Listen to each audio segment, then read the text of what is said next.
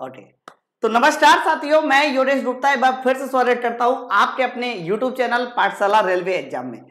बच्चों, रेलवे का एकमात्र ऐसा चैनल जो टेबल और टेबल आपको क्लास ही नहीं, बल्कि सिलेक्शन भी देता है। और इसी सिलेक्शन की कड़ी में हम लोग, ये जो सीरीज़ चल रही थी, Dhanush batch science special series आज इसका पंद्रवा लेक्चर है। मैं डेली आपको साइंस के बेहतरीन क्वेश्चन सॉल्व कराता हूँ। आप मेरे साथ इन साइंस के क्वेश्चन को सॉल्व कीजिए। रेगुलर क्लास मेंटेन कीजिए। विश्वास मानिए, आपका जो साइंस है वो इतना अच्छा हो जाएगा कि आप भी साइंस के ज्ञाता बन जाएँगे, ओके? तो चलो फिर हम लोग साइंस के आज देखते हैं कि कितने हमारे पास क्वेश्चन है और तीस नंबर की जो तैयारी है। अच्छा तीस नंबर क्यों? बच्चों एएलपी में ना आपको पता है कि 20 क्वेश्चन साइंस के पूछे जाएँगे आरआरबी जेई में 30 क्वेश्चन पूछे जाएँगे।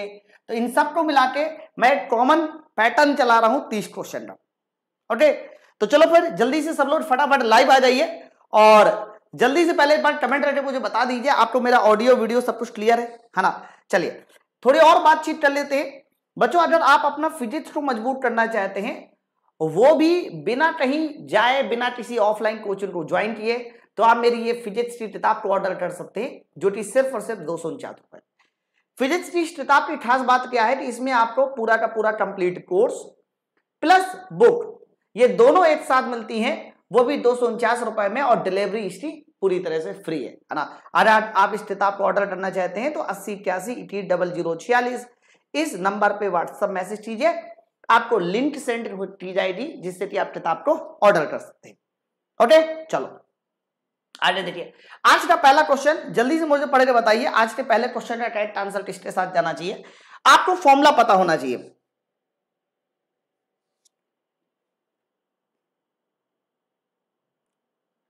Evening news real life style में शादी कर ली है। अरे, ये क्या बोल रहा है भाई? हमें ठीक है। तो ज़िंदगी, पहला क्वेश्चन का आंसर मुझे बताओ सीटेन में कितने हाइड्रोजन के परमाणु है? बच्चों, आपको पता है कि जितने भी हमारे पास हाइड्रोकार्बन है, जो भी हाइड्रोकार्बन है, हर एक हाइड्रोकार्बन का आपको स्ट्रक्चर बनाना ज़रूर आना चाहिए। नहीं स्ट्रक्चर तो फॉर्मूला लिखना ज़रूर आना चाहिए।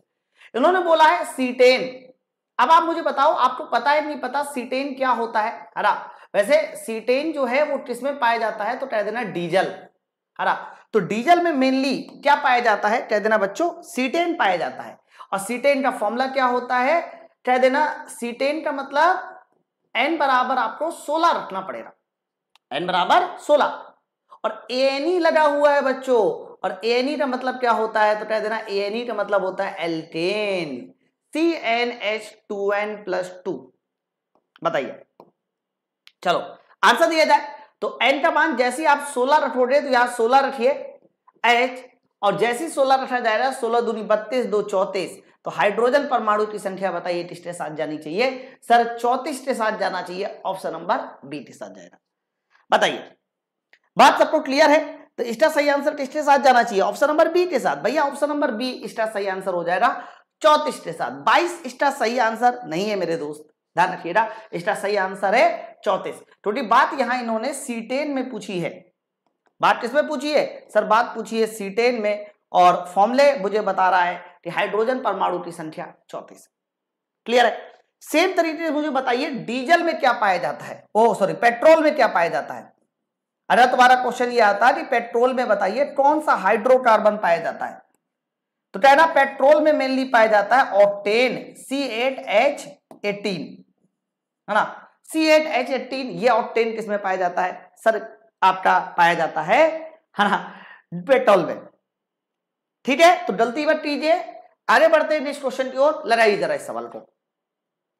ट्राई कीजिए।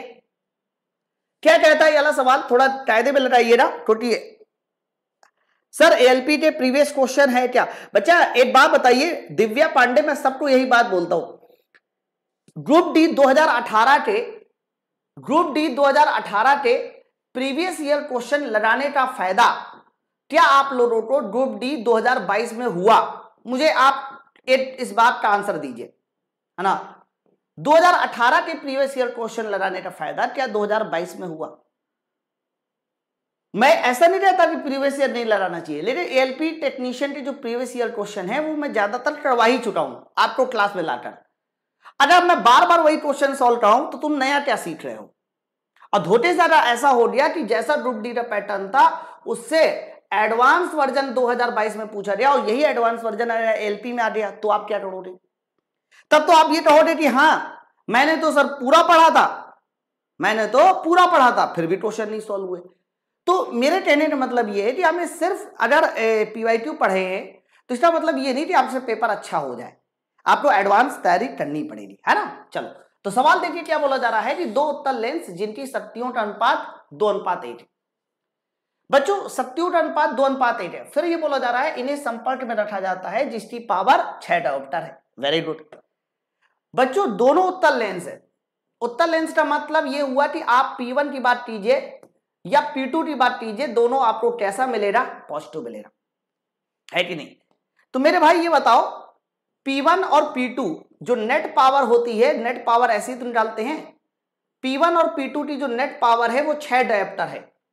तो बोला जा रहा है कि बताइए, सही आंसर सही विकल्प चुने। पहला विकल्प है, संयोजन की फोकस दूरी इतनी होगी।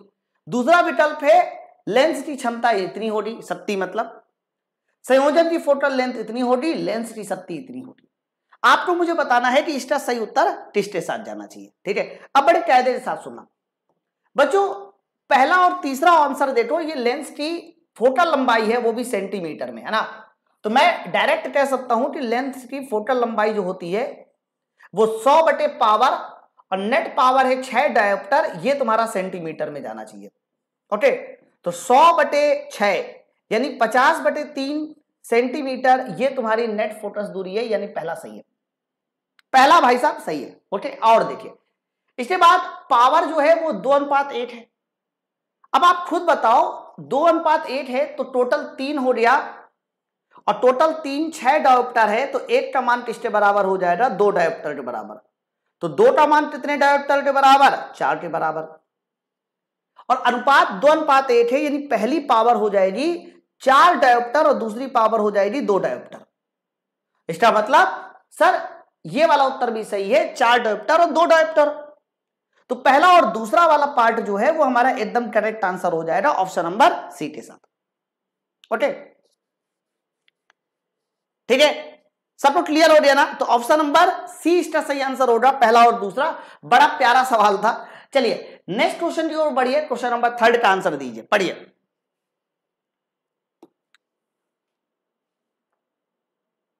बताइए।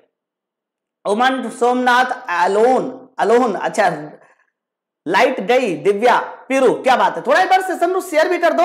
और जिन्होंने अभी तक सेशन को लाइक नहीं किया, पहले एक बार दबा के एक बार लाइक कर दीजिए। बताइए सवाल का सही आंसर क्या होना चाहिए? निम्न में से मेंडल के संकरण प्रियोडर की आबादी बताइए। मतलब मेंडल ने अपने नियम कब दिए थे? ओके तो आपको पता है कि मेंडल जो है, एक गणितज्ञ थे और ये मेन रहने वाले थे ऑस्ट्रिया के। ऑस्ट्रेलिया नहीं, ऑस्ट्रिया, ओके। और याद रखना, ये पेशे से कौन थे? सर सकते हो पादरी थे।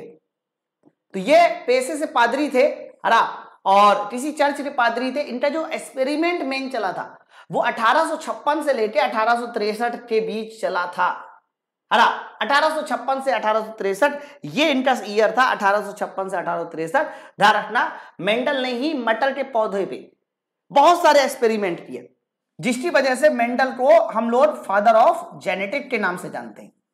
ठीक है? तो फादर ऑफ़ अगर कोई पूछे जेनेटिक किसमें बोला जाता है? तो कह देना, ये मेंडल साहब को बोला जाता है। ग्रेटर जॉन मेंडल ओके चलो आगे देखिए नेक्स्ट क्वेश्चन क्वेश्चन नंबर चौथा.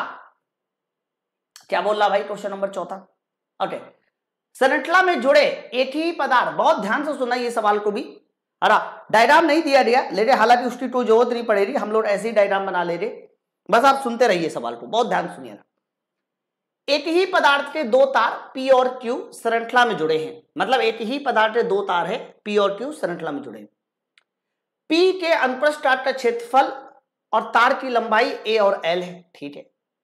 क्यू के क्षेत्रफल क्यू का जो क्षेत्रफल है, वो पी का आधा है वेरी गुड और लंबाई दुगनी है। बस, अब यहीं से अंदाज़ा हो गया, ये देखो। यहीं से अंदाज़ा हो गया मुझे कि सब, सबसे पहले आपने बनाया पी ये पी ओके पी फिर ये बोला जा रहा है कि क्यू का क्षेत्रफल पी के क्षेत्रफल का आधा है और लंबाई दुगनी है। यानी जो क्यू बनाना है वो क्षेत्रफल में आधा बनाना है और लंबाई डबल बनानी है। कुछ ऐसा कुछ होना चाहिए। और वो भी सीरीज़ में जोड़ना है। ये ये डायग्राम आप कह सकते हो, है ना? तो मेरे भाई ये बताओ, ये तुम्हारा कौन सी छड़ हो रही सर, ये पी हो गया। और ये कौन सी छड़ हो रही सर, ये क्यू हो गया। ध्यान सुनना। इसकी लंबाई कितनी है? L okay? इसका एरिया कितना है? सर इसका एरिया है ए सर क्यू की लंबाई कितनी है? ट्वेल्व इसका एरिया कितना है? ए बाई टू सुनना है ना सब लोग? ए बाई टू ऐसा बोला जा रहा है। फिर बोला जा रहा है कि बताइए, संयोजन का तुल्य प्रतिरोध कितना होना चाहिए? मुझे तुल्य प्रतिरोध बताना है। बताइए आंसर। कैसे निकलेगा ये सवाल? है ना? Pisum sativum. हाँ बिल्कुल एकदम सही बता रहे बच्चा। तो आप कह सकते हो कि अगर ये दोनों सीरीज़ में जुड़े हैं तो इनका रजिस्टेंस आर वन इसका रजिस्टेंस आर टू और जल्दी बताइए अगर नेट रजिस्टेंस निकालना है इन दोनों का तो मुझे बताइए आर वन और आर टू को आपस में जोड़ना रहेगा। बहुत सीधा सा कॉन्सेप्ट है यार। तो आर वन कैसे निकलेगा? तो कहना रजिस्टेंस निकालने का फॉर्मूला होता है आर बराबर होता है रो इंटू एल बटे ए तो रजिस्टिविटी रो लंबाई इसकी एल एरिया ए ये देखो मैं पहले इधर निकाल हूँ इधर ओके तो आर वन का मान निकाल लिया मैंने रो एल बटे ए अगर यहाँ मैं आर टू निकालूँगा तो आर टू बराबर हो जाएगा रो टोटी पदार्थ वही है। लंबाई एल यानी ट्वेल्व और divide by area A A मतलब ए बाई टू टोटी आधा है। तो मेरे भाई, ये मान आ जाएगा तुम्हारा, दो ऊपर चला जाएगा चार। चार रो एल बटे ए ए देखो ठीक है? पहले आप मुझे बताइए, ये दोनों मान सबको क्लियर हो रहे? फटाफट एक बार सब लोग कमेंट करके बताओ, ये दोनों मान क्लियर हो रहे, ये कहाँ से आए? आर वन कहाँ से आया? आर टू कहाँ से आया? सबको बात क्लियर हो गया। कुछ नहीं किया है रजिस्टेंस का सिंपल सा फॉर्मूला होता है रो इंटू एल बटे ए ठीक है? सर ऐप पे लाइव नहीं होता है क्या? नहीं, बच्चा ऐप पर रिकॉर्ड करके अपलोड होता है। अब इनको दोनों को जोड़ना है तो आप ये मुझे बताओ, अगर इन दोनों को उठा के जोड़ा जाएगा तो चार और एक पाँच हो जाएगा, जिसकी वजह से आंसर जो जाने वाला है वो five rho L divide by A. Five rho L divide by A, option number A के साथ।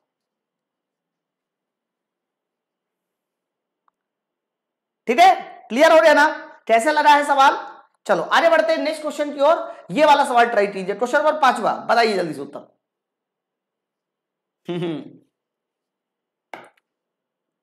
ऐसा दीजिए। प्रवीण वेरी गुड दिव्या, क्या बात है? अलोन। थोड़ा एक बार और सेशन को शेयर करो भाई, जिन्होंने अभी तक सेशन को लाइक नहीं किया लाइक भी कर दीजिए। और फटाफट जल्दी से एक बार शेयर कर दीजिए, बताइए इस सवाल का सही आंसर किसके साथ जाना चाहिए। बढ़ती हुई आयु के साथ, निम्न में से कौन सा हार्मोन स्त्रवण घटकर आधा हो जाता है। आप मुझे बताइए, इनमें से वो कौन सा हार्मोन है जो बढ़ती हुई आयु के साथ घटकर आधा हो जाता है? जैसे कि G T H melatonin H G H हरा एस्ट्रोजन इनमें से वो कौन सा हार्मोन है जो बढ़ती हुई आयु के साथ आधा हो जाता है? हरा अरे बच्चा, सोमनाथ, पहला चैप्टर अपलोड हो गया, दूसरा भी अपलोड हो जाएगा। आप पढ़ो तो पहले पहला। देखो जीटीएच हार्मोन हो गया इसके अलावा एच जी एच गया ये हमारा निकालता है पिट्यूटरी ग्लैंड एस्ट्रोजन हार्मोन एक तरह का फीमेल हार्मोन होता है बच्चों, ये निकालती है ओवरी है ना? लेकिन जो मेलाटोनिन हार्मोन होता है, ये कौन निकालता है? तो कह देना ये निकालता है बच्चों पीनियल और यही वो हार्मोन है जो बुढ़ापे में जाके या समय के साथ घटके कह सकते हो आधा हो जाता है है ना? देखो, यही रीजन है कि जितने भी हमारे बूढ़े माँ बाप होते हैं उनमें मेलाटोनिन हार्मोन कम हो जाने की वजह से ही उन्हें दिन और रात में, यानी उनका जो स्लीपिंग साइकिल है, वो बिगड़ जाता है। कई बार उनको रात में नींद नहीं आती। समझो बात को। ओके? तो ये मेलाटोनिन हार्मोन जो होता है, वो उम्र के साथ साथ कम होता रहता है और ध्यान रखना, इसीलिए सही आंसर ऑप्शन नंबर बी के साथ जाएगा। कल मैंने आपको इसका एक पॉइंट भी बताया था, अगर आपको याद हो। तो कल मैंने आपको कहा था कि मेलाटोनिन हार्मोन जो है इसे बायोलॉजिकल क्लॉट भी कहते हैं बायोलॉजिकल क्लॉट क्यों बोला जाता है? क्योंकि ये हमारे स्लीपिंग साइकिल को कंट्रोल करता है, हमारे जाटने और सोने को कंट्रोल करता है। इस बात को याद रखिएगा मेलाटोनिन हार्मोन है ना? ठीक है? तो ऑप्शन नंबर हमारा कौन सा जाएगा? बी के साथ। चलो नेक्स्ट क्वेश्चन देखिए। ये लीजिए। बच्चों, ऐसा सवाल ना बड़ी कंफ्यूजन क्रिएट करता है यार। आप लोगों ने ऐसे सवाल ज़रूर पढ़े होंगे, पहले। लेकिन जब जब इस तरह के क्वेश्चन आपके सामने आते हैं तो हमेशा ना, हमें एक कंफ्यूजन सी रहती है। हमेशा एक कंफ्यूजन सी रहती है। सर, एक क्लास गेंद बाला न्यूटन गेंद बाला न्यूटन लो से क्या है ये? मैं समझ नहीं पा रहा हूँ, उमंग, मुझे पूरा डिटेल बताओ। है ना क्या कह रहा हो, थोड़ा अच्छे ढंग से लिखो। मतलब मैं ये कह रहा था कि ऐसे सवाल ना, हमेशा हम लोगों को कंफ्यूजन करते हैं। और कभी इसका कॉन्सेप्ट ही नहीं क्लियर हो पाता है भाई साहब कि इसका सही आंसर क्या होना चाहिए। तो मैं अभी दस मिनट आपका लूँगा, दस मिनट के बाद अगर जीवन में ये सवाल गलत हो जाए तो नाम बदल दीजिए ना। देखिए सवाल क्या है। बोला जा रहा है कि यदि एक वर्णहांत महिला एक समान दृष्टि वाले पुरुष से विवाह करती है तो उसके पुत्र पुत्र बोला है। देखो, पुत्र बोला जाए तो अलग आंसर होगा। पुत्री बोली जाए तो अलग आंसर होगा। समझो? और होने वाले बच्चे बोले जाए तो बच्चों, अलग आंसर होगा। ठीक है? सब पे सब लोग सी आंसर दे रहे हैं, कुछ बी आंसर दे रहे हैं। भाई, थोड़ी देर के लिए रहम करो, मैं बता रहा हूँ। मैं बता रहा हूँ। ठीक है? चलिए, सुनिए। और मैं मैं फिर से कह दू, इसमें वैरायटी बहुत बनती है क्वेश्चन में। इसमें वैरायटी बहुत बनती है। तो कई बार इसका आंसर सी बी डी सब आपने सुने होंगे। लेकिन प्रश्न अभी भी फंसा हुआ है कि किस वैरायटी में कौन सा आंसर मुझे देना है। ठीक है? चलो, अब सुनो। ध्यान सुनो। बोला जा रहा है, एक वर्णांध महिला। मतलब मेरे पास एक महिला है जिसे पहले से वर्णांध वर्णांध का मतलब हो गया कि उसे कलर ब्लाइंडनेस है। वर्णांध महिला मतलब उसे कलर ब्लाइंडनेस है। ओके तो बच्चों, जिसको कलर ब्लाइंडनेस होता है, जिस महिला को, महिला के पास एक्स एक्स गुणसूत्र होते हैं, और इसके पास कलर ब्लाइंडनेस है इसीलिए मैंने ऊपर जो है, दोनों को जो है डॉट बना दिया। मतलब इसके पास कलर ब्लाइंडनेस है। बच्चों, अगर ये महिला वाहट होती, अगर ये महिला जो है, कह सकते हो टेबल और टेबल वाहट होती, सिर्फ़ वाहट तो हम इसका क्रोमोसोम दिखाते, हम इसका जो क्रोमोसोम दिखाते गुड़सूत दिखाते, वो सिर्फ़ और सिर्फ़ एक्स के ऊपर एक बिंदु लगाते बस। समझो? तो पहले आप ये समझो कि वाहक कैसे दिखाया जाता है। और जिसको ये बीमारी होती है, वो मतलब ये वाहक है। जैसे कि आपने वो सुना है ना कि मच्छर डेंगू फैलाता है। सुना है नहीं सुना? है? एडीज, इजिप्ट मच्छर डेंगू फैलाता है। लेकिन क्या कभी सुना है कि उस मच्छर को डेंगू हो गया? सुना है? नहीं। है ना? लेकिन यहाँ ऐसा है, महिला में अगर वर्णांध है तो एक्स के ऊपर दोनों एक्स के ऊपर हम डॉट लगा देंगे। और अगर वो सिर्फ़ वाहक है, सिर्फ़ वाहक है तो उसके ऊपर ये करेंगे। इतनी बात सबको क्लियर हो गई ना? अब दूसरी बात सुनो। तो प्रश्न में ये बोला जा रहा था कि यदि एक वर्णांध महिला मतलब महिला पूरी तरह से वर्णांध है, इसलिए हमें ये लेके चलना पड़ेगा। कैरियर नहीं है, वर्णांध है, यानी बीमारी से ग्रसित है। फिर समान दृष्टि वाले पुरुष से व्यवहार करती है। तो समान दृष्टि वाले पुरुष से व्यवहार करती है। इसका मतलब जो पुरुष है, वो नॉर्मल है। और नॉर्मल है तो मेरे भाई बताओ, इसका एक्स और इसका वाई है ना? आप लोग पहले मुझे ये बताइए, ये बात आप सबको क्लियर हुई नहीं क्लियर हुई? एक बार कमेंट करके बताओ, ये बात सबको क्लियर हो रही ना? है ना? हाँ एक्स क्रोमोसोम में ही हमारा कह सकते हो वर्णांत यानी ब्लाइंडेस कलर दिखाई देता है। चलो, इन दोनों का क्रॉस आते हैं। बच्चों, अगर इन दोनों का क्रॉस आएँगे तो पहले एक्स डॉट का क्रॉस दोनों से साथ करा दिया जाए, यानी एक्स के साथ करा दिया जाए, और एक्स डॉट का क्रॉस वाई के साथ भी करा दिया जाए। फिर ये दूसरा वाला एक्स डॉट तो इस एक्स डॉट का क्रॉस एक्स के साथ होगा, पहले वाले एक्स के साथ, और फिर एक्स डॉट का क्रॉस वाई के साथ होगा। समझो? तो जब इनका आपस में क्रॉस कराया जाएगा तो क्रॉस कराने के बाद ये चार पॉसिबिलिटी बनेगी। पहले एक्स का दोनों के साथ। दूसरे एक्स का दोनों के साथ। समझ में आया कि नहीं आया? अब देखो इधर सर, ये क्या है? पहले ये मुझे बताइए। तो कह देना, ये है सर लड़की। लकड़ी नहीं लिख रहा था यार। लड़की। सुनना। ये क्या है सर? ये है लड़का। सुनना है ना सब लोग? ये क्या है सर? सर, ये है लड़की। और ये क्या है सर? सर, ये है लड़का।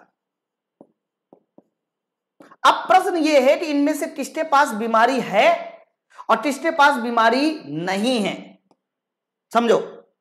तो बच्चों, लड़की में सिर्फ़ एट एक्स लगा हुआ है। ये देखो, लड़की में एट एक्स तो यहाँ पर भी एट एक्स है और यहाँ पर भी लड़की में एट एक्स है।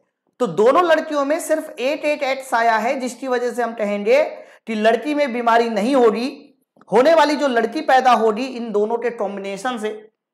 तो उस पर लड़की में बीमारी नहीं होगी। लेकिन लड़के में देखिए क्या है। तो लड़के में बीमारी है, क्योंकि एक्स में भी है एक्स में भी है वाई में तो होता ही नहीं है। तो आप कहेंगे कि वर्णाता की जो बीमारी है, जिसको आप बोलोगे कि किसको कलर ब्लाइंडनेस है तो दोनों जो लड़के होंगे, वो कलर ब्लाइंडनेस से ग्रसित होंगे। क्या होंगे बच्चों? ग्रसित होंगे। ठीक है। क्लियर है ना? अब इन्होंने क्या बोला? इन्होंने बोला है, उसके पुत्र होंगे। सिर्फ़ पुत्र पूछा है। पुत्र मतलब लड़का। तो कहना, लड़के में आप देखिए, लड़के में हमारा कलर ब्लाइंडनेस है है। तो सभी सामान्य दृष्टि के होंगे पुत्र, गलत। आधे पुत्र समान होंगे, आधे वर्णांत गलत। भैया, आधे कहा? दोनों हमारे वर्णांत है। फिर तीन चौथाई, एक चौथाई मतलब दो लड़के हैं, और दो लड़कों को क्या काट कर एक चौथाई और तीन चौथाई टरोरे बेटूफ हो क्या? इसलिए इसका सही आंसर ऑप्शन नंबर डी के साथ जाना चाहिए कि सारे के सारे जो लड़के हैं, सभी लड़के सभी लड़के वर्णनांत होंगे। ऑप्शन नंबर डी मैं अभी छोड़ूँगा नहीं। मैं आपको छोड़ूँगा नहीं। पहले आप मुझे यह बताओ, यहाँ तक बात सबको क्लियर हो रही अभी छोड़ूँगा नहीं। ना मुन्ना, ना, अभी नहीं छोड़ूँगा। अभी नहीं छोड़ूँगा। अभी नहीं छोड़ूँगा। पहले आप मुझे बताओ, यहाँ तक क्लियर है? अब मेरा अगला प्रश्न सुनिए, जो इसके बाद फिर पूछा जाएगा। कहेगा कि इनसे पैदा होने वाली जो लड़की है, इन दोनों के कॉम्बिनेशन से पैदा होने वाली जो लड़की है, पैदा होने वाली लड़की है, उसका विवाह फिर से नॉर्मल पुरुष के साथ हो गया। मतलब इनसे जो पैदा होने वाली लड़की है, उसका विवाह फिर से नॉर्मल पुरुष के साथ हो गया। अब मैं इसको हटा देता हूँ। ये तो आपको समझ में आ गया होगा। और चाहे तो मैं इसको यहाँ लिख देता हूँ कि जब महिला वाहट होती है, जब महिला कलर ब्लाइंडनेस की वाहट होती है बच्चों तो उसको रिप्रेजेंट किया जाता है इस कुछ इस तरह से। ठीक है? अब प्रश्न यह आएगा कि इन दोनों के कॉम्बिनेशन से लड़के भी पैदा होंगे, भैया लड़की भी पैदा होगी। तो मैंने ये कहा कि इनके कॉम्बिनेशन से जो लड़की पैदा हुई है उसका विवाह कर दिया गया है नॉर्मल लड़के के साथ। है ना? नॉर्मल लड़का एक्स वाई होगा। और लड़की जो पैदा हुई है, वो क्या है? तो वो है एक्स और ये एक्स तो चलो बताइए, अगर इनके कॉम्बिनेशन से, यानी इनके कॉम्बिनेशन से जो लड़की पैदा हुई थी, दो लड़कियाँ पैदा हुई थी भाई साहब मतलब किसी भी एक लड़की का विवाह, मैंने दूसरे नॉर्मल लड़के के साथ कर दिया तो अब मुझे बताइए, होने वाले बच्चे में क्या क्या आपको नज़र आना चाहिए? अरे रिपीट कर रहा हूँ, आप परेशान मत हो यार। अगर मैंने आपको क्लियर नहीं किया तो क्या मतलब है मेरे पढ़ाने का? ये सब इसीलिए है। तो मान लीजिए, लड़की पैदा हुई एक्स एक्स फिर नॉर्मल लड़के के साथ मैंने अगला विवाह होगा ना, अगला विवाह। तो चलिए क्रॉस बनाते हैं। तो एक्स डैश एक्स का क्रॉस पहले वो वाले एक्स के साथ, फिर यहाँ से कर देते हैं। एक्स डॉट का क्रॉस पहले वाले एक्स के साथ, फिर एक्स डॉट का क्रॉस वाई के साथ, सुना है ना सब लोग? फिर एक्स का क्रॉस अगले वाले एक्स के साथ और फिर एक्स का क्रॉस ये वाई के साथ। ये देखो, ये कॉम्बिनेशन बनेगा। ये कॉम्बिनेशन बनेगा, मेरे भाई। तो क्या पॉसिबल हुआ? तो कहना पॉसिबल ये हुआ सर कि इसमें देखो सर एक लड़का पैदा होगा और एक ये वाला लड़का हो गया। तो इसका मतलब ये हुआ कि एक लड़का नॉर्मल होगा, ये नॉर्मल लड़का है। सुनो, और ये बताइए कैसा लड़का होगा, क्योंकि एक्स वाई लड़का होता है तो ये ग्रसित हो जाएगा। तो मतलब दो लड़कों में से पचास परसेंट चांस हो गए कि एक नॉर्मल होगा और एक ग्रसित होगा। ठीक है? लड़कियों में सुनिए, लड़कियों में एक्स एक्स यानी लड़कियों में एक लड़की नॉर्मल होगी और एक्स ऊपर डॉट एक्स तो ये वाहट होगी, यानी एक लड़की क्या होगी? वाहट होगी। एक लड़की क्या होगी? वाहट मेरी बात को थोड़ा सा समझने की कोशिश करना। तो इनके कॉम्बिनेशन से जो लड़की पैदा हुई, उसको मैंने नॉर्मल लड़के के साथ शादी टा दी। और नॉर्मल लड़के के साथ शादी टाने के बाद देखिए, ये रिज़ल्ट मिला सबको। तो पहली लड़की, मान लीजिए चार बच्चे उसको पैदा किए, और चार बच्चों में दो लड़के, दो लड़की होंगी, जो मुझे दिखाई दिया। तो मैं ऐसा कह सकता हूँ मेरे भाई, कि आप ऐसा कह सकते हैं, क्या कह सकते हैं सर, कि ये वाहट लड़की है, लड़की लिख लेना आगे। ये कह सकते हो कि ग्रसित लड़का है, लड़का लिख लेना। ये नॉर्मल लड़की है, और ये कह सकते हो नॉर्मल लड़का है। ठीक है? और दूसरी बात सुनो। चलिए, इसकी लड़की का विवाह नॉर्मल लड़के के साथ किया जाए मैंने कहा, सर, इसका उल्टा कर दीजिए। इसका जो लड़का है, इसका जो लड़का था, यानी एक्स और ये वाई सर, इसका विवाह मैंने किया नॉर्मल लड़की के साथ। क्योंकि पता थोड़ी ना चलता है भैया तो तुम्हें क्लर ब्लाइंडनेस है। नॉर्मल लड़की के साथ विवाह किया। इसके लड़के के या नॉर्मल लड़की के साथ विवाह किया। अब मुझे बताइए ठीक है? अब मुझे बताइए, सर सेकेंड जनरेशन से क्या रिलेशन है? ये भी बता दीजिए बुक में भी पढ़ा था। अरे सेकेंड जनरेशन ही तो मैं बता रहा हूँ भाई साहब। ठीक है, अब मुझे बताओ। ये लड़का वहाँ से उठाया मैंने, जिनका बेटा था, लड़की नॉर्मल है। तो इसमें भी देखो, चार पॉसिबिलिटी बनेगी एक्स डैश एस फिर X dash Y X dot Y Y का एक्स वाई और वाई का हमारा अब ये वाई वाई तो कुछ होता ही नहीं ना। वाई वाई तो कुछ होता ही नहीं है। कुछ मिस्टेक कर दी। यहाँ पर ये लड़की थी ना एक्स एक्स लेना चाहिए था। तो एक्स यहाँ पर ये एक्स आएगा। एक्स एक्स ओके और वाई एक्स वाई और वाई एक्स वाई ये देखिए। हाँ वो मैंने सही कर दिया, वो मैंने सही कर दिया, सही कर दिया, दोनों पाया था। तो यहाँ पर भी देखो, फिर से, हम लोगों को क्या मिला? तो सर, हम लोगों को अब मिला है, देखो, नॉर्मल लड़के, क्या मिले हैं? तो कह देना हम लोगों को मिले हैं, सर, नॉर्मल लड़के। नॉर्मल लड़के मिले हैं, नॉर्मल लड़के मिले हैं। और दोनों लड़कियाँ बताइए, कैसी मिली हैं? सर, दोनों लड़कियाँ जो मिली हैं, वो वाहक मिली हैं। ठीक है? तो कभी भी ऐसा कोई भी सवाल आगे से आए तो अंधी में आंसर नहीं लगाना है। अंधी में आंसर नहीं लगाना है। आपको कैदे में समझना है कि उसका आंसर क्या होना चाहिए। हाँ अरे उज्जवल मंडल, मैंने सही कर दिया भैया। मैंने सही कर दिया। ठीक है? ठीक है, एक बार कमेंट करके बताओ, ये सबको समझ में आ गया कि मैं एक एग्ज़ाम्पल और ले लूँ भाई। पहले मुझे बता दो, क्योंकि मैं ही तभी आगे बढ़ूँगा। ये सबको समझ में आ गया कि नहीं आया?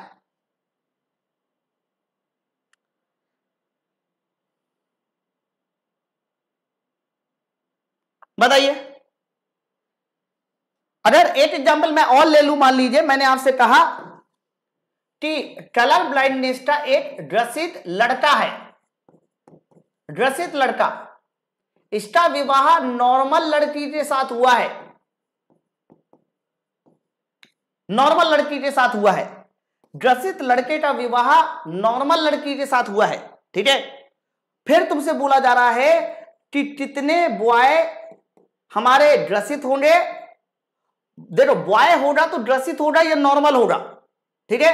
और कितनी लड़की, यानी कितनी गर्ल ग्रसित होंगी, नॉर्मल होंगी, या फिर कह सकते हो वाहट होगी। देखो, लड़कों में दो पॉसिबिलिटी है। या तो लड़के जो पैदा होंगे, वो ग्रसित होंगे या नॉर्मल होंगे। और लड़कियों में तीन पॉसिबिलिटी है। या तो वो ग्रसित होंगी, या तो वो नॉर्मल होंगी, और या फिर बताइए क्या होंगी, वाहट होंगी।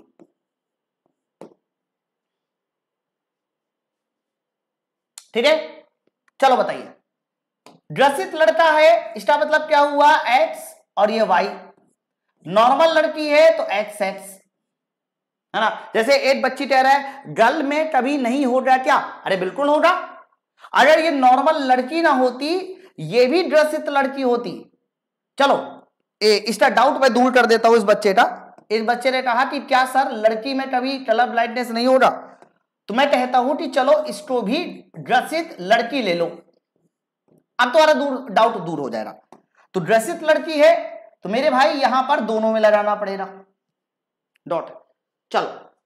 तो अगर मैं इसका जो है क्रॉस करा दू, यानी ड्रेसित लड़का और ड्रसित लड़की, जिसको हमारे पास कह सकते हो ब्लाइंडनेस है। चलिए क्रॉस कराइए। पॉसिबिलिटी देखिए क्या है। तो एक्स एक्स ये पहले वाले एक्स का है। फिर एक्स एक्स दोनों के साथ करा दिया। वाई तो एक्स वाई अब ये एक्स ये वाई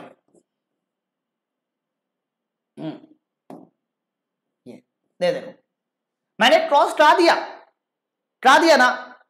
वहाँ का मतलब क्या होता है बता दो? कैरियर कैरियर वहाँ का मतलब कैरियर ओके तो ये देखिए, इस बार दोनों लड़कियों में देखिए जरा ज़ोर से तो दोनों के ऊपर दो दो डॉट लगे हैं। यानी ये लड़की जो है, ये लड़की जो होगी, वो ड्रसित होगी। ड्रसित और दोनों के दोनों जो लड़के हैं, वो दोनों में भी देखिए एक्स में लगा हुआ है। तो दोनों के दोनों लड़के भी क्या होंगे? ड्रेसित होंगे।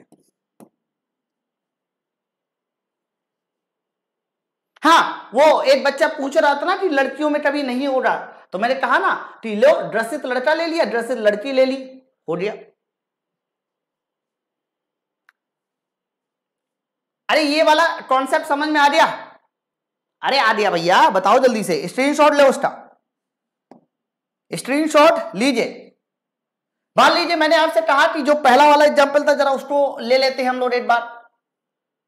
मैं पहले वाले एग्ज़ाम्पल को दोबारा से ले लू। पहले वाले एग्ज़ाम्पल में बताइए, यहाँ क्या लिखा हुआ था? यहाँ था सामान्य लड़की नॉर्मल लड़की, या वाहट लड़की ले लेते हैं। कौन सी लड़की ले लेते? सर, वाहट ले लेते हैं। वाहट लड़की ले लेते वाहट। वाहट। तो वाहट लड़की ले लेंगे तो क्या करना पड़ेगा बच्चों? वाहट लड़की में एक डॉट हटाना पड़ेगा ऊपर से, है ना? वाहट लड़की में एक डॉट हमें ऊपर से हटाना पड़ेगा। यह वाहट लड़की का रिप्रेजेंटेशन है। ठीक है? चलो बताइए। क्रॉस ट्राइंगल तो क्या होगा तो कह देना, ग्रसित लड़का है एक्स के ऊपर ही लगाना है, ध्यान रखना। वहाँ लड़की है तो किसी एक एक्स के ऊपर लगा होगा अगर मैं दोनों का क्रॉस करा दू तो एक्स एक्स फिर एक्स एक्स अब वाई तक आएँगे तो एक्स वाई और एक्स वाई ये देखिए। तो सोचिए, चलो, बताइए इसका आंसर। क्या होना चाहिए? लड़का कौन है, लड़की कौन है नॉर्मल कितने हैं? और धन्यवाद धन्यवाद। देखो, मैंने बता रहा, मैं जो कुछ भी आता है, सब आपको पर निछावर कर दूँगा। विश्वास मानिए, मुझे लेके क्या करना है? मुझे ना अभी दस पंद्रह सालों में मैं आपको पहाड़ों पे नज़र आऊँगा। फिर आप भी मेरा वो देखिए वो डेटी, आज जो है इन बाबा की कृपा से मैं धनी बन गया। तो बस मुझे आगे चलते बाबा बनना है। तो जो कुछ है मेरे पास सब आप ही का है। ठीक है, बताइए। तो ये क्या है? तो कह देना, इसे बोला जाएगा ग्रसित। लड़का और लड़की तो आप बता ही लोगे। ये क्या है? तो केवल एक एक्स में लगा हुआ है बडल वाला भी एक्स है तो ये वाहट है, लड़की। वाहट लड़की। और ये ड्रसित लड़की। ओके? ये क्या है? सर, ये तो है एक्स और वाई है। तो इसमें बोला जाएगा ड्रसित लड़का। ये क्या है, सर? सर, इसमें किसी में नहीं है। सर, ये है नॉर्मल लड़का।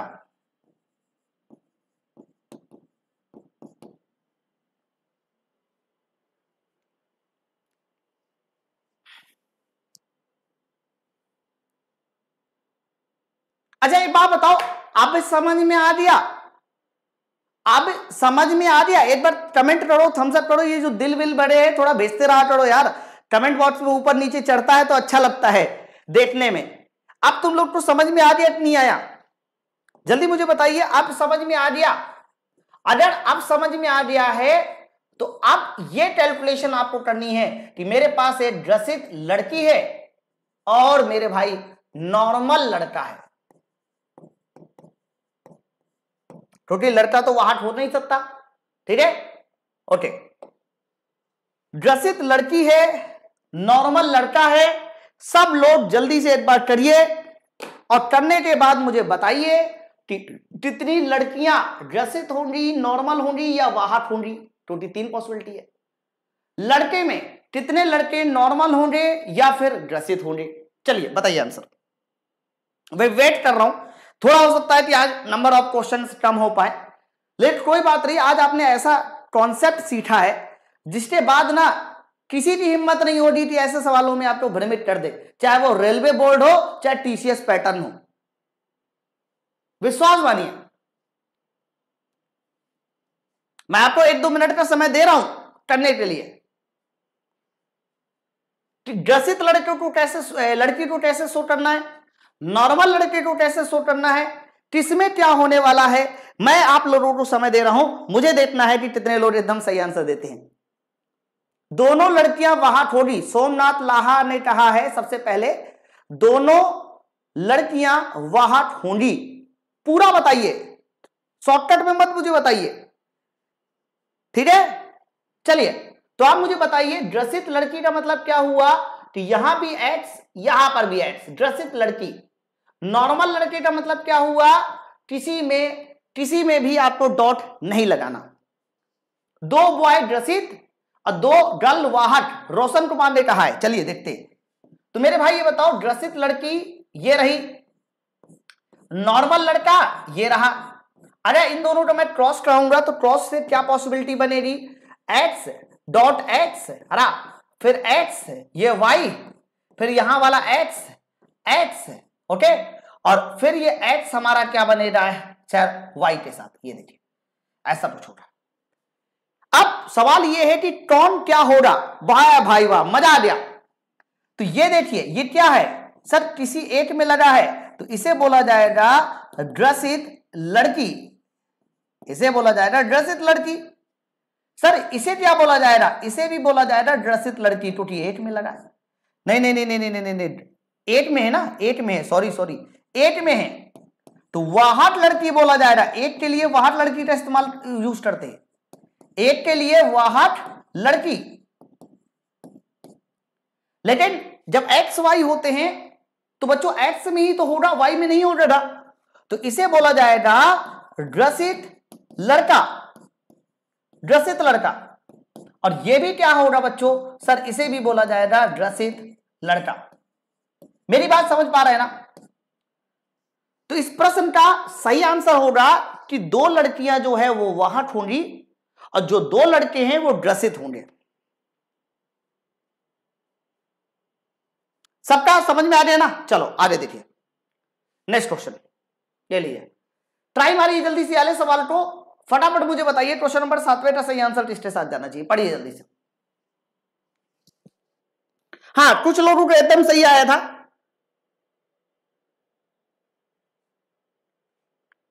ठीक है? चलिए आंसर जल्दी दीजिए।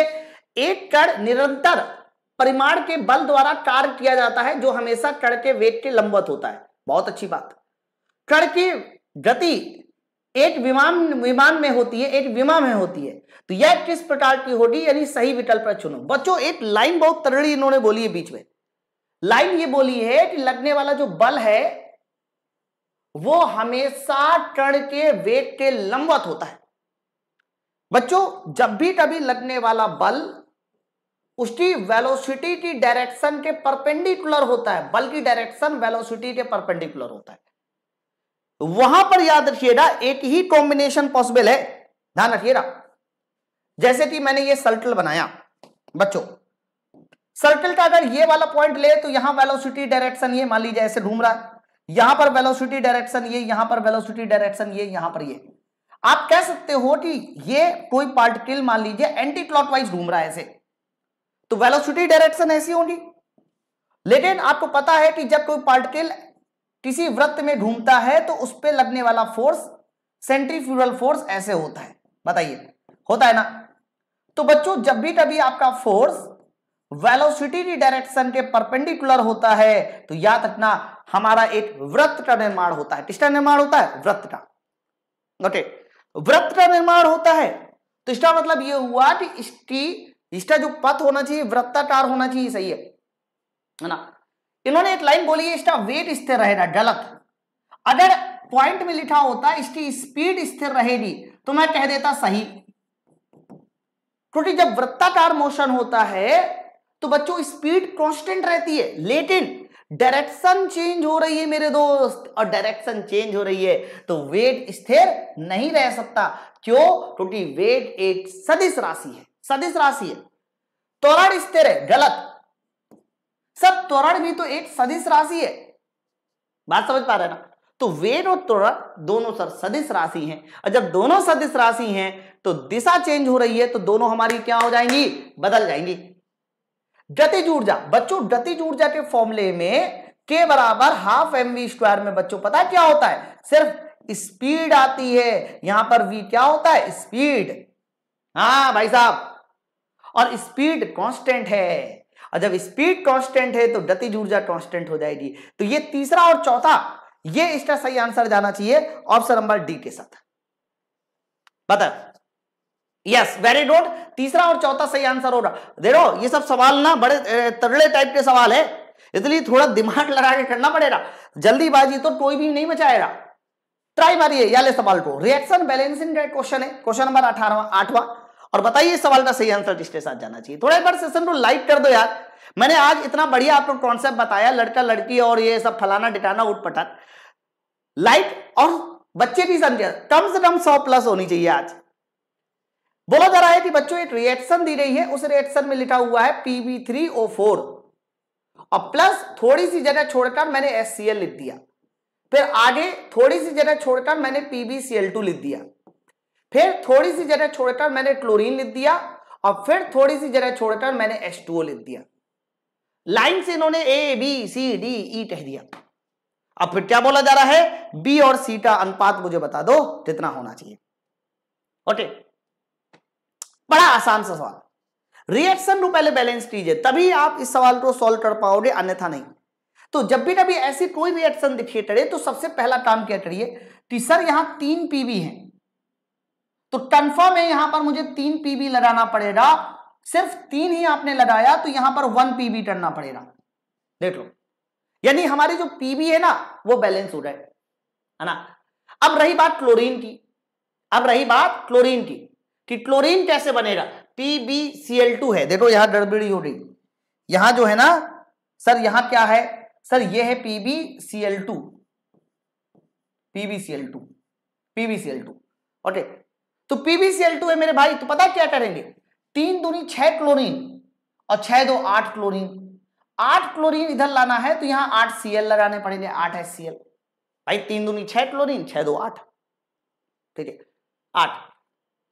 क्लोरीन बैलेंस हो गया सर। अगर आठ क्लोरीन है तो यहाँ कंफर्म एट करना पड़ेगा आपको।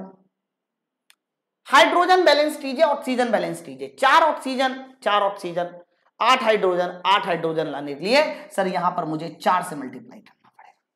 ये देखो। ठीक है? तो मेरे भाई, ये हमारा कॉन्सेप्ट है।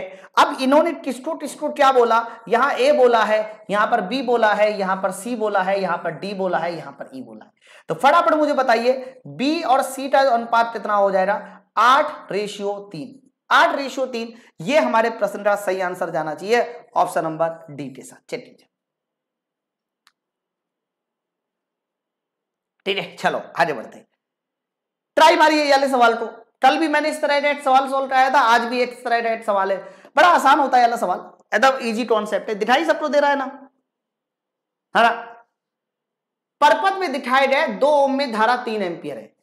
मतलब परपत में ये है तुम्हारा दो ओम का रेजिस्टेंस और इसमें धारा का मान इन्होंने कह दिया सवाल में तीन एम्पियर। एकदम कह के साथ सुनना। परपत में दिखाए गए दो ओम में धारा तीन एम्पियर है। तो पाँच ओम में शक्ति बताइए। मतलब ये जो पाँच ओम का रेजिस्टेंस दिखाया गया ना, ये पाँच ओम। ओके? बच्चों, इस पाँच ओम में मुझे पावर बतानी है कितनी होनी चाहिए। बोलो। अब आपको लगेगा कि ये सवाल बड़ा कठिन है। मेरे भाई कठिन नहीं है। अरे यार छुटकी आज नहीं बज रही। बहुत आसान सवाल है यार। लेकिन चीज़ें समझनी पड़ेगी कि आपको लगाना कैसे। ऐसा नहीं कि हम कुछ भी। है? कुछ लोग स्टाफ परिणामी रेजिस्टेंस निकालेंगे, दुनिया भर की चीज़ें निकालेंगे। नहीं मालिक, मैंने अपने बच्चों को आज तरह सब चीज़ें नहीं बताई है। मैं तो कहता हूँ, दिमाग लगाइए कि हम इसको कैसे आसान कर सकते मैं बताता हूँ बच्चों, ये जो तीन ब्रांच है ना, ये तीन ब्रांच। बच्चों, ये तीन ब्रांच आपस में समांतर है। और समांतर का मतलब होता है वोल्टेज समान होना चाहिए, है ना? तो ऊपर वाली ब्रांच का वोल्टेज निकाला जाए तो V बराबर आई आर तीन दुनी छह। सर V बराबर आई आर तीन दुनी छह वोल्टेज ऊपर है। तो बच्चों, छह वोल्टेज तो हर एक का होना चाहिए। चार ओम पहले से है तो यहाँ धारा बहा दीजिए, डेढ़ एम्पियर की, ताकि डेढ़ गुड़े चार, डेढ़ गुड़े चार छह वोल्टेज हो जाए। यहाँ पाँच और एक छह ओम पहले से है, पाँच और छह ओम पहले से है तो यहाँ धारा बहा दीजिए एट एम्पियर की और एट एम्पियर की धारा बहा दीजिए, जिससे कि वोल्टेज हमारा समान हो जाए। बताओ। पहले आप सब लोग मुझे ये इशारा करके बताइए, ये जो मैंने एकदम दिमाग लगाते, धुआंधार दिमाग लगा के जल्दी से यहाँ डेढ़ और जल्दी से यहाँ एट एम्पियर लिख दिया, ये सबको समझ में आया कि नहीं आया? देखो, बहुत सारे लोग इसको क्या कर रहे होंगे?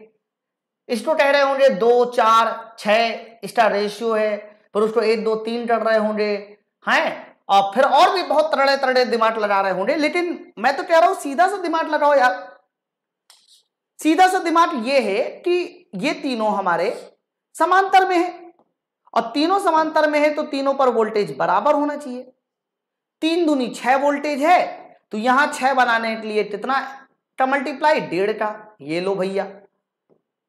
पाँच और एक सीरीज़ है, छह ओम हो गया तो छह वोल्टेज बनाने के लिए सिर्फ़ एट एम्पियर की धारा। अरे भाई बताइए, मज़ा आ रहा नहीं आया।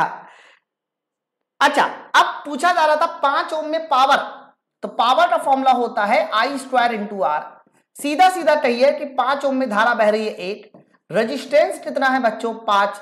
तो मेरे भाई, बच्चों आंसर जो आ जाएगा, वो पाँच वाट आ जाएगा। बताइए, कितना खूबसूरत सवाल था खूबसूरत सवाल को अपने खूबसूरत ढंग से सॉल्व भी कर दिया। अब हमसे पूछो ना। अच्छा चार ओम में पावर चाहते हो? निकाल देंगे। एक ओम में पावर चाहते हो? निकाल देंगे। तुम्हारी जो मर्ज़ी हो, मुझसे पूछो। मैं बताऊँगा। हाँ चलिए, आगे बढ़ते दसवां नंबर सवाल। ये लीजिए। ट्राई मारी जरा इस सवाल को। दसवां नंबर। बायोलॉजी से आया हुआ क्वेश्चन है। बायोलॉजी से आया क्वेश्चन है। बोला जा रहा है कि कॉलम वन और कॉलम टू को मैच चाहिए कॉलम वन में टेस्ट क्रॉस है मोनोहाइब्रिड रेशियो है बैक क्रॉस है डाई हाइब्रिड रेशियो है। वैसे आपको मोनोहाइब्रिड और डाई हाइब्रिड वो जो अभी लेक्चर हुआ था, उसमें तो पढ़ लिया होगा। अभी इस संडे इस संडे शाम के सात बजे मैं अभी फिर से मैराथन लेके आने वाला हूँ। जिसमें मैं बाकी बचा जो पार्ट है ना मेंडल्स लॉ का। जैसे कि आपने अभी ए, मेंडल के तीन नियम नहीं पढ़े वो लॉ ऑफ़ सेडरेशन क्या होता है है ना? पृथक का नियम क्या होता है? फिर आपने टेस्ट क्रॉस नहीं पढ़ा बैक क्रॉस नहीं पढ़ा ओपन क्रॉस नहीं पढ़ा सेल्फ क्रॉस नहीं पढ़ा हम्म रेसिप्रोकल क्रॉस नहीं पढ़ा। ये सब नाम आपको समझ में आना चाहिए। तो वो सारे नाम मैं अभी क्लियर कर दूँगा फ़िलहाल इसका आंसर तो आप बहुत सटीक ढंग से दे सकते हो है क्योंकि आप साफ़ साफ़ देख पा रहे हो कि तीन रेशियो एट ये तुम्हारा मोनोहाइब्रिड रेशियो में आया था। ये तुम्हारा मोनोहाइब्रिड रेशियो में आया था तो सेकेंड का डी होगा। और डाई हाइब्रिड रेशियो में नौ, तीन तीन, एक टोटल योगफल सोलह, ये इसमें होगा। तो सेकेंड का तुम्हारा डी होना चाहिए, अब फोर्थ का ए होना चाहिए, देखो। तो डायरेक्ट आप आंसर ए नंबर दे दो। देखे सबने दे भी दिया। हाँ देखा, हमारे क्लास के स्टूडेंट काफ़ी तेज है। दो के बारे में नहीं पता था। कुछ एबीसीडी नहीं पता था, क्या है टेस्ट क्रॉस, क्या है बैक क्रॉस? आंसर लग गया, और सही भी लग गया। ठीक है? तीन एम्पियर ऊपर नहीं देते मेन ब्रांच में देते तो क्या होता? अगर मेन ब्रांच में देते मेन ब्रांच में देते, तब भी हम बहुत आराम से सॉल्व कर लेते। बहुत आराम से सॉल्व कर लेते। अरे, उसमें भी दिक्कत रही जाती दोस्त। मैं भी एक एग्ज़ाम्पल ले लूँगा। तो टेस्ट क्रॉस बैक क्रॉस के लिए आप संडे वाली क्लास शाम के सात बजे देख लेना। तो वो पूरा क्लियर हो जाएगा। चलो क्वेश्चन नंबर ग्यारहवा बताइए आंसर। बताइए। फटाफट जल्दी से मुझे बताइए क्वेश्चन नंबर ग्यारहवें का सटीक आंसर क्या होना चाहिए? हरा। S block P block D block F block एक तरफ़ क्रोमियम है एक तरफ़ सोडियम है एक तरफ़ सेरेनियम है एक तरफ़ सिलिकॉन है। आप मुझे बताइए, किसकी मैचिंग किसके साथ होगी? बताओ। कुछ चीज़ें तो बड़ी कॉमन है यार। मतलब वो तो काफ़ी ज़्यादा कॉमन है है ना? जैसे कि सोडियम भैया one S two two S two two P six three S one ये तो एस ब्लॉक है। सोडियम तो मेरा एस ब्लॉक है। तो जब एस ब्लॉक है तो आप कह सकते हैं कि ए का आंसर क्यू के साथ जाना चाहिए। एस ब्लॉक है ना? तो जब सोडियम एस ब्लॉक है तो ए क्यू के साथ जाना चाहिए। ए क्यू कहाँ है? बच्चों, दो आंसर में, ये देखो। कोई बात नहीं। फिर इसके बाद पी ब्लॉक सिलिकॉन देखो सोडियम मैग्नीशियम ये एस ब्लॉट होता है। एल्यूमिनियम से लेके फिर हमारा 18 तक, ये सब पी ब्लॉट होते तो सिलिकॉन हमारा क्या होता है? पी ब्लॉट होता है। तो बीटा हमारा किसके साथ जाना चाहिए? पी ब्लॉट जो होना चाहिए, सर, वो सिलिकॉन हो जाएगा एस तो ट्यू के बाद एस आना चाहिए, ये देखिए। तो ट्यू और एस हमारा लगातार ऑप्शन नंबर ए है। है ना? बाकी और भी आपको क्लियर करना चाहिए, जैसे कि क्रोमियम 18 से लेके 18 से लेके जिंक तक। क्रोमियम 24 है स्टैंडियम इक्कीस टाइटेनियम 22 वेनेडियम 23 ये सब डी ब्लॉक एलिमेंट होते हैं बच्चों तो डी ब्लॉक एलिमेंट में दिया गया है पी वाले में। है ना? और भी क्लियर हो गया आपको। चलो नेक्स्ट क्वेश्चन देखिए। ओके बच्चों एप्लीकेशन पे माई पार्सल एप्लीकेशन पे बेसिक साइंस और इंजीनियरिंग ड्राइंग का एक ऐसा बैच जो आपके एलपी टेक्नीशियन बनने के सपने को साकार कर सकता है। मैं इसलिए बोल रहा हूँ, क्योंकि 40 नंबर का सीबीटी टू के पार्ट ए में 40 नंबर पूछा जाएगा। और मैं आपको कम से कम इसमें से 35 प्लस नंबर दिलाऊँगा। विश्वास मानिए, इसका कोर्स इतना लाजवाब बना है है ना? सिर्फ़ तीन सौ निन्यानवे रुपए में बीएससीडी का कोर्स अभी ले लीजिए, क्योंकि जैसे अभी एलपी का टेक्नीशियन का फॉर्म आएगा तो शायद ये दाम बढ़ जाएगा। आपको करना क्या है? तिरसठ तिरानवे एक सौ पच्चीस सात सौ साठ। इस नंबर पे कॉल करके आप ये बैच ले सकते हैं। या फिर डायरेक्ट माई पाठशाला एप्लीकेशन डाउनलोड कीजिए और कूपन कोड इस्तेमाल कीजिए योगी टेन। डिस्काउंट के साथ आप इस बैच को ज्वाइन कर सकते हैं। ठीक है? चलो, कोई डाउट होता है तो सामने नंबर लिखा होता है। चलो, ये वाला सवाल ट्राई कीजिए, बारहवा नंबर। ट्राई कीजिए। फाउंडेशन बैच में लाइव नहीं नहीं हम, देखो लाइव में क्या होता है ना, एक घंटे की लाइव क्लास ना, उसमें इतनी बातचीत हो जाती है कि वो कोई मतलब नहीं रहता। तो बच्चों, जब आप क्लास लोगे ना तो आपको लाइव क्लास की महसूस ही ज़रूरत ही नहीं महसूस होगी, विश्वास बनी मेरा। देखो, एक तरफ़ जो है, ये सारे के सारे नाम दिए गए हैं और इधर दिया गया है मोल। बच्चों, आपको पता है कि जब भी कभी मुझे नंबर ऑफ़ मोल निकालने होते हैं, जब भी कभी नंबर ऑफ़ मोल निकालने होते हैं तो ऊपर रखा जाता है द्रव्यमान, नीचे रखा जाता है अड़ुभार बस इससे नंबर ऑफ़ मोल निकलाते हैं। अरे बोलो क्लियर है? हाँ फ़र्स्ट लेक्चर नहीं, आप फ़र्स्ट लेक्चर मत कहिए सोमनाथ। आप बोलिए पहला चैप्टर पहला चैप्टर में तीन लेक्चर है। तीन लेक्चर अपलोड है। है ना? मेरे भाई देखो, अट्ठासी ग्राम और सीओ टू का अड़ु भार होता है चवालीस। तो चवालीस होता है तो ऊपर अट्ठासी, नीचे चवालीस तो बताइए इसमें नंबर ऑफ़ मोल कितने आ रहे दो, है ना? तो ए के नंबर ऑफ़ मोल दो आ रहे तो ए का दूसरा आंसर सही है। तो ए का दूसरा, ये देखो ऑप्शन नंबर ए में आ गया। क्या बात है? ठीक है? और भी हम लोग निकाल सकते हैं, कोई बात नहीं। जैसे कि छियानवे ग्राम ओ टू सर, इसमें नंबर ऑफ़ मोल निकाला जाएगा तो छियानवे ऊपर। O2 मतलब बत्तीस, क्योंकि O2 है तो तीन मोल तीन मोल किसमें है? सर, ये तीन में है तो डीटा तीन होना चाहिए, ये देखो डीटा तीन। है ना अरे, बात समझ पा रहे हैं नहीं, मेरी समझ पा रहे बताओ। सर, ये वैल्यूम वाला कैसे निकाले? अरे, वैल्यूम का भी नंबर ऑफ़ मोल निकालने का फॉर्मूला होता है। क्या फॉर्मूला होता है? तो कह देना, ऊपर वैल्यूम रखा जाता है पाँच दशमलव छह लीटर और नीचे बाईस दशमलव चार। तो पाँच चौटो बीस, थोड़ा छह चौटो चौबीस, यानी एक बटे चार मोल इसमें आ जाएगा। एक बटे चार मोल इसमें आ जाएगा। ठीक है? तो कहने का मतलब ये है ना कि जो कुछ भी है ना, बहुत आराम से आप निकाल सकते हो बिना किसी टेंशन के। आगे बढ़िए। ये वाला सवाल लगाइए। मानव के हृदय में जो चार जगह होती है, उन चार जगह में वाल्व कौन कौन से लगे होते हैं? उस वाल्व से संबंधित सवाल है। आप मुझे बताइए कि कहाँ पर कौन सा वाल्व लगा होता है? फटाफट जल्दी से आंसर दीजिए। है ना? मानव के हृदय में ध्यान रखना, चार चैम्बर्स होते हैं। कितने होते हैं? चार चैम्बर ऊपर वाले चैम्बर को बोलते हैं राइट ऑरिकिल नीचे होता है राइट वेंट्रिकल ये लेफ़्ट ऑरिकिल ये लेफ़्ट वेंट्रिकल समझ में आ रहा है ना? बताओ। कहाँ पर कौन सा वाल्व लगा होता है मेरे दोस्त? तो कहना कि राइट ऑरिकिल यानी दाएँ आलिंद, दाएँ नीला के बीच यहाँ एक वाल्व लगा होता है। इसे कौन सा वाल्व कहते हैं? तो कह देना, इसे बोला जाता है tricuspid valve tricuspid ठीक है? सेम तरीके से याद रखना, बाएँ आलिंद और बाएँ निलय के बीच भी एक वाल लगा होता है। सर, इसे बोला जाता है बाई टफसिड वॉल्व और बाई टफसिड वॉल्व को ही बोलते हैं हम लोग माइट्रल वॉल माइट्रल वॉल तो इन्होंने बाई टफसिड पूछा है तो बाया आलिंद, बाया निलय। ओके? तो बाया आलिंद बाया निलय, ये सवाल का सही आंसर जाना चाहिए कि हमारा माइट्रल वॉल लेफ़्ट ऑरिटिल और लेफ़्ट वेंट्रिकल के बीच लगा होता है ऑप्शन नंबर बी ठीक है? अच्छा तुम में से कोई जानता है? एक और वाल भी होता है जिसको हम लोग बोलते हैं पल्मोनरी वॉल या सेमी लुनार वॉल भी बोलते हैं उसको। ओके, बताइए। आप में से कोई मुझे बताए सेमी लुनार वॉल्व कहाँ लगा होता है? ये तीसरा वाल्व होता है। और चौथा वाल होता है आरोटा वाल्व आरोटा वाल्व तो जल्दी बताइए, सेमी लुनार वाल्व कहाँ लगा होता है? आरोटा वाल्व कहाँ लगा होता है? इसका भी मुझे आंसर देते दिखाइए, किसी को बताए तो। बताओ। तो सेमी लुनार वाल्व अर्ध चंद्रक वॉल ये लगाया जाता है तुम्हारा फुसफुस धमनी में। कहाँ पर लगाया जाता है? फुसफुस धमनी में, पल्मोनरी आर्टरीज।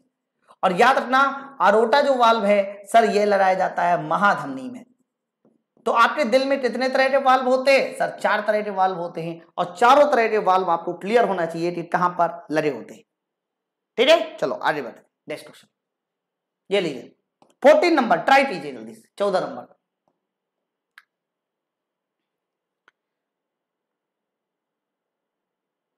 टावर से बॉल गिराने वाला क्वेश्चन का ये, सर एक रोज 10 से 20 क्वेश्चन ठीक है? मतलब उमन तुम ये कह रहे हो कि मोशन वाले क्वेश्चन सॉल्व करा दे न्यूमेरिकल है ना? यही कह रहे हो ना? ठीक है। चलिए क्वेश्चन नंबर 14 को ट्राई कीजिए। बोला जा रहा है कि एक रक्त ए वाला व्यक्ति बी रक्त वाली महिला से व्यवहार करता है। मतलब इन्होंने बोला कि एक ब्लड ग्रुप ए है। ये मान लीजिए पुरुष का ब्लड ग्रुप है और दूसरा महिला का ब्लड ग्रुप है बी है ना? फिर बोला जा रहा है कि दोनों रक्त समूह के विषम युग्मजी हैं। ठीक है। उनके प्रथम बच्चे के ए बी रक्त समूह के होने की संभावना बताइए। यानी इनका जो बच्चा होगा, उस बच्चे के ए बी ब्लड ग्रुप होने की क्या पॉसिबिलिटी है, कितने परसेंट पॉसिबिलिटी है, ये सवाल है। बताओ। है ना? तो मेरे भाई, आपको तरीका पता है ना कि महिला और पुरुष के कॉम्बिनेशन से जो बेबी पैदा होगा उसमें कैसे हम लोग निकालते हैं? कौन सा ब्लड ग्रुप है? जैसे कि महिला है, पुरुष है, खाली खाली जगह हो तो दूसरी जगह ओ ओ ओ अपनी तरफ़ से लगा लो। ये तरीका होता है अपनी तरफ़ से ओ लगा लीजिए। तो महिला हमने लिख लिया ए ओ, पुरुष लिख लिया बी ओ। उससे कोई मतलब नहीं होता आप कहा, कब महिला मान रहे हो, कहा पुरुष। सीधा सीधा इनका क्रॉस कराइए तो ए का क्रॉस बी के साथ ए बी अरे ए का क्रॉस ओ के साथ ए ओ ओ का क्रॉस बी के साथ बी ओ ओ का क्रॉस ओ के साथ ओ ओ ये लाल जो कलर लिखा है, ये चार पॉसिबिलिटी है बच्चों। तो चार पॉसिबिलिटी में सबसे पहली पॉसिबिलिटी बनी ए बी ए ओ कुछ नहीं होता, सिर्फ़ ए होता है।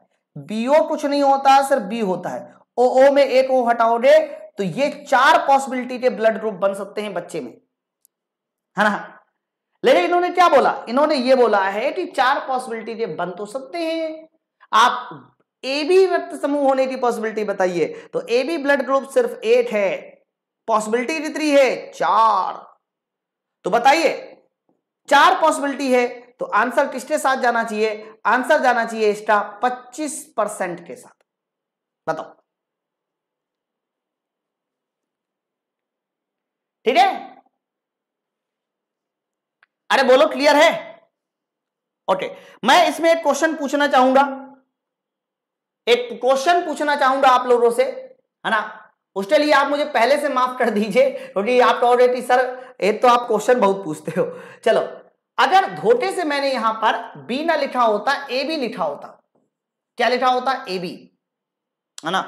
धोटे से मैंने यहाँ पर सिर्फ़ क्या लिखा होता? ए बी अब मुझे बताइए, इस सवाल का उत्तर कितना होता? जल्दी बताइए। मतलब मैंने क्या किया? ए को ऐसे ही रहने दिया।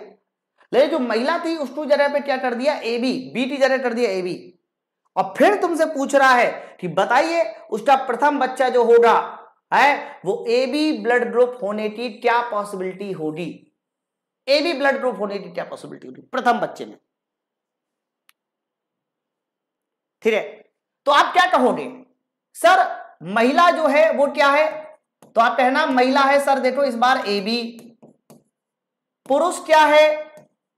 सर पुरुष है ए तो जब ए के आगे कुछ ना लगा हो तो ओ लगा लो।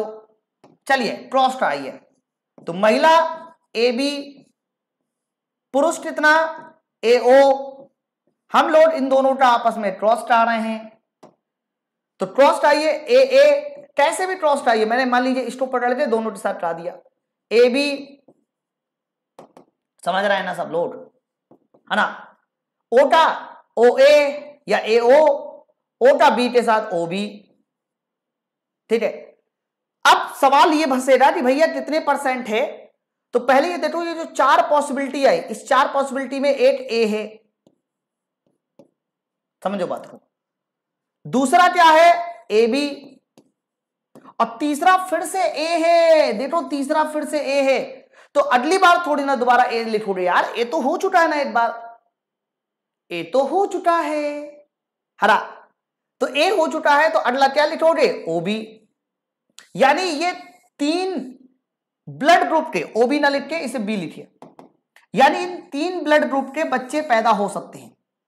बताओ। इन तीन ब्लड ग्रुप के बच्चे पैदा हो सकते हैं ए के पैदा हो सकते हैं ए बी के पैदा हो सकते हैं, और किसके पैदा हो सकते हैं? बी के। इसके अलावा कोई नहीं है ना।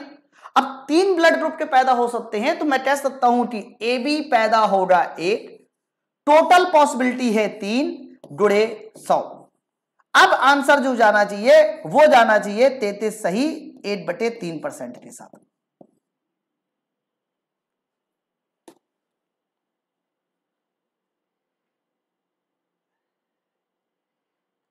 अरे बोलो, समझ में आ गया ना? है ना? हालाँकि इन्होंने पहला बच्चा बोला था। हो सकता है सवाल में तुमसे दूसरा बच्चा बोल दे। तो पहला बच्चा बता देगा कि कौन सा ब्लड ग्रुप का हो चुका है लेकिन मैं आपको बता दू हाँ। दूसरा कहे चाहे तीसरा कहे तो कुछ भी आ सकता है इन चारों में। ऐसा नहीं है कि मान लीजिए पहला बच्चा ए ब्लड ग्रुप का हो गया। तो इसका मतलब ये बिल्कुल भी नहीं है कि दूसरा बच्चा जो है वो ए का नहीं हो सकता या तीसरा बच्चा ए का नहीं हो सकता। ये एकदम रैंडम पॉसिबिलिटी होती है। मतलब मान लीजिए पहला बच्चा ए का हो गया। तो इसका मतलब ये नहीं कि दूसरा ए भी होगा या बी होगा तो दूसरा भी ए हो सकता है। तो ये पॉसिबिलिटी एकदम रैंडम होती है। समझो ना बात को, ये पॉसिबिलिटी एकदम रैंडम होती है। हो सकता है कि सारे के सारे बच्चे ब्लड ग्रुप ए के हो जाए। और ये बिल्कुल ना कहना कि चार बच्चे पैदा होंगे, ये भी ना कहना। चार बच्चे पैदा होंगे, ये भी ना कहना। मैंने कहा कि तीन पॉसिबिलिटी के ब्लड ग्रुप आ सकते हैं। चीज़ों को एकदम कैदे में पढ़िए। चलो, अगला सवाल देखिए। पंद्रवा नंबर। ये तो आसान है यार। पंद्रवा नंबर, पढ़िए। ठीक है? समझ पाए ना? मैं मैं आपको क्या सिखाना चाह रहा हूँ, है ना? तो चार बच्चे पैदा हो गए गलत। वो तीन पॉसिबिलिटी में से कुछ भी हो सकता है। सवाल देखिए। यह मानते हुए कि पृथ्वी एक समान द्रव्यमान घनत्व का एक गोला है। ठीक है, मान लिया।